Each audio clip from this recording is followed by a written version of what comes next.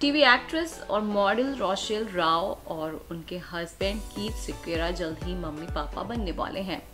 X Bigg Boss couple रहे actor Keith और Rochelle ने हाल ही में इंस्टा के ज़रिए फैंस के साथ इस प्यारी गुड न्यूज़ शेयर की है।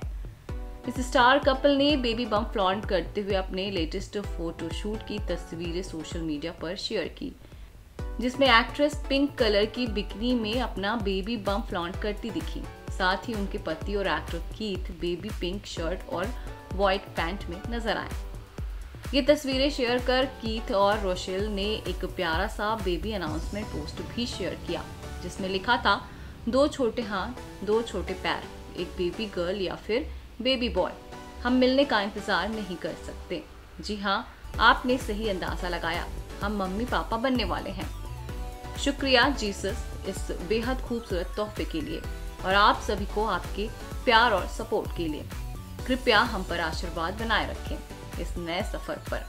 रोशिल राव और कीर सिक्वेरा ने साल 2018 में शादी रचाई थी। दोनों ने 4 मार्च 2018 को तमिलनाडु के महाबलीपुरम में डेस्टिनेशन वेडिंग प्लान कर समंदर किनारे शादी रचाई थी। दोनों ने क्रिश्चियन रीति रिवाज से एक दूसरे को पति पत्नी बनाया था।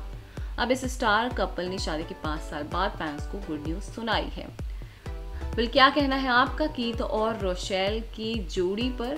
हमें कमेंट्स के ज़रिए ज़रूर बताएँ।